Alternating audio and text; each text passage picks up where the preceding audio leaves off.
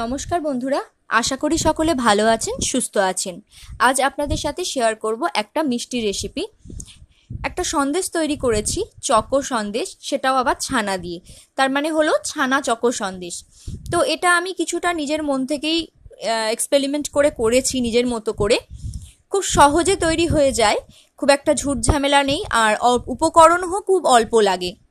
তো আমার মনে হয় আপনারাও এটা ট্রাই করলে আপনাদেরও ভালো লাগবে। আর যেহেতু চকো ফ্লেভার তাই বাচ্চারাও এটা খুবই এনজয় করবে। তো মিষ্টি বানানোর জন্য প্রপার ময়রা হওয়ার দরকার নেই। নিজের মতো করে করতে পারব, সহজভাবে মিষ্টিটা তৈরি করা যাবে। সেই কথা ভেবেই এটা আমি করলাম। তো দেখলাম বেশ ভালোই হলো, খেতেও খুব একটা খারাপ হয়নি। আর যেহেতু মিষ্টি খাবার, তো খারাপ হওয়ার কোনো কথাই নেই। সেটা যে কোনোভাবে করলেই কিন্তু ভালোই হয়। আর ছানা আছে, চকলেট, এগুলো তো সব ক্ষেত্রেই টেস্ট ভালোই রাখে। তো খুব সহজেই তৈরি করে নিয়েছি। এই সহজ মিষ্টির রেসিপিটা আজকে আপনাদের সাথে শেয়ার করে নেব। তো দেখুন, ছানা তৈরি করে নিচ্ছি আমি নিজেই, তার জন্য দুধ ফুটিয়ে নিয়েছি। আর এর মধ্যে আমি পাতিলেবুর রস দিয়ে দুধটা কাটিয়ে ছানা করে নেব।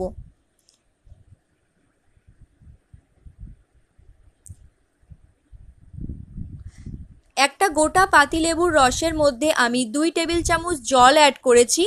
তাতে পাতিলেবুর টক ভাবটা একটু কম থাকবে ছানার মধ্যে। আর ফ্লেম অফ করে আমি ফুটন্ত দুধের মধ্যে পাতিলেবু মিশ্রিত জলটা দিয়ে দিলাম। আর কিছুক্ষণ ওয়েট করার পরেই খুব সুন্দরভাবে ছানাটা কেটে গেছে। এখন এটাকে ছেঁকে নেব আর সঙ্গে সঙ্গে একটু জল দিয়ে ছানাটা ধুয়ে নেব যাতে টক ভাবটা বেরিয়ে যায়। আর তারপর এই ছানাটাকে একটু মেখে নেব। রসগোল্লা বা ময়রা মিষ্টি তৈরির মতো একদম ভালো করে মাখতে হবে তেমনটা না। এটা জাস্ট আমি হাত দিয়ে একটু মেখে নিয়েছি, সামান্যভাবে মেখে নিয়েছি। তো এবারে ফ্রাইং প্যানে আমি হাফ কাপ মতো চিনি দিয়েছি, যেহেতু আমার ছানার পরিমাণটাও কম আর আমরা মিষ্টিটা একটু কমই পছন্দ করি, তাই জন্য হাফ কাপ চিনি দিয়েছি, আর তার মধ্যে সামান্য একটু জল দিলাম, যেমন ধরুন এক কাপের চার ভাগের এক ভাগ। জল দিয়ে চিনিটা মেল্ট হওয়ার জন্য অপেক্ষা করছি। চিনি যতক্ষণ ধরে মেল্ট হবে, ততক্ষণ কিন্তু এটাকে মাঝে মাঝেই নাড়িয়ে যেতে হবে। তা না তো তলাতে লেগে যেতে পারে। আর চিনিটা কিছুক্ষণ ফুটে যাওয়ার পর এর মধ্যে আমি একটা এলাচ দিয়ে দেবো। কারণ যে কোনো ধরনের মিষ্টিতে এলাচের ফ্লেভারটা কিন্তু খুবই ভালো লাগে।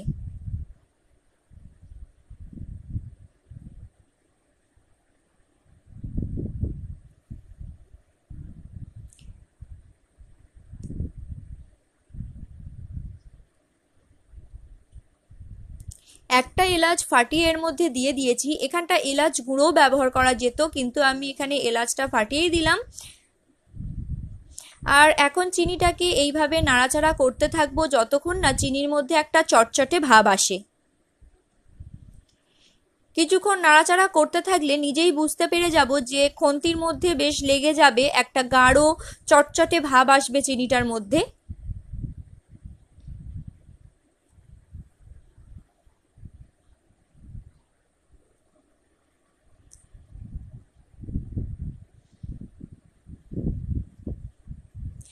সাত আট মিনিট এইভাবে চিনিটা জাল করার পর এখন বেশ গাঢ় হয়ে এসেছে। এইখানেই আমি এখন ছানাটাকে অ্যাড করে দেবো।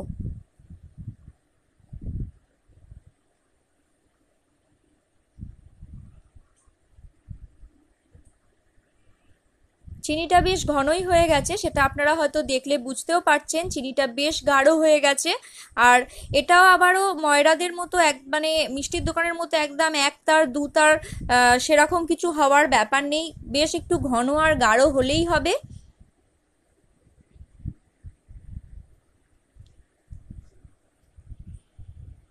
আর এর মধ্যে এখন ছানাটা দিয়ে দিলাম। ছানা দিয়ে খুব ভালোভাবে নাড়াচাড়া করে চিনির সাথে মিক্স করে নেব।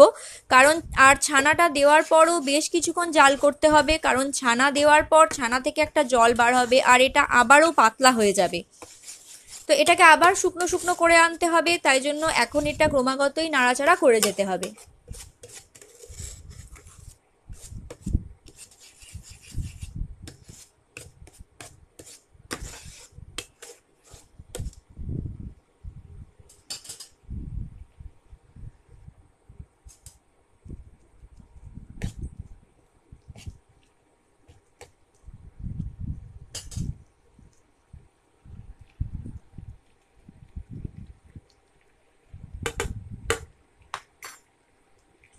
ছানাটা কিছুটা শুকনো হয়ে এলে তার মধ্যে আমি হাফ চামচ কোকো পাউডার দিয়ে দিলাম।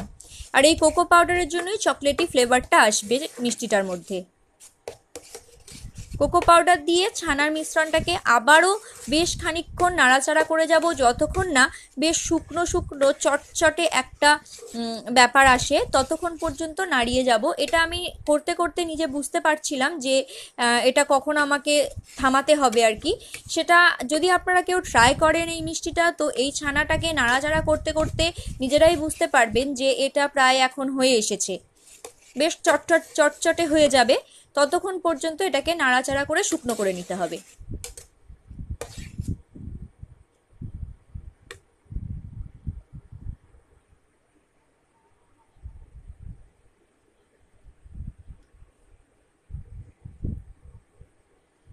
আর সব শেষে একটুখানি ডিয়ারি মিল্ক চকলেট এইভাবে আমি গ্রেট করে করে উপর থেকে দিয়ে দিচ্ছি। এই চকলেটটা সম্পূর্ণ হয়তো মেল্ট হবে না, কিছুটা মেল্ট হবে, কিছুটা গোটা থাকবে। এটা যখন মুখে পড়বে, আমার মনে হয় বেশ ভালোই লাগবে।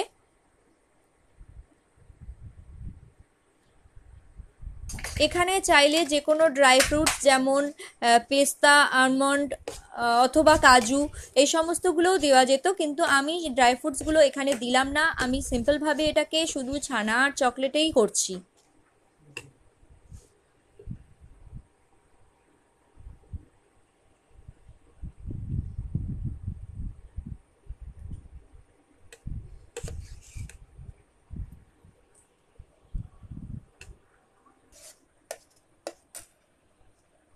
আর এখন এটা বেশ চটচটে হয়ে এসেছে। এখন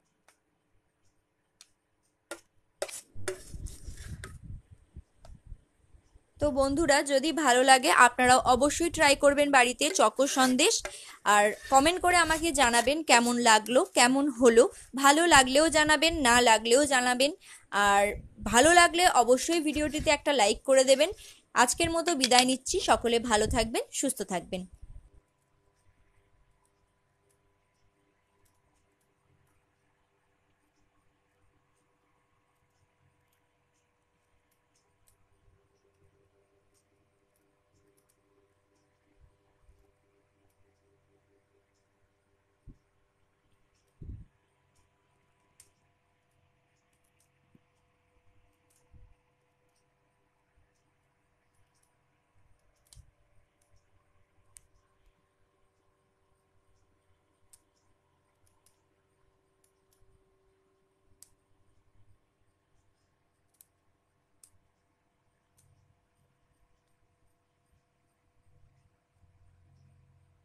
করো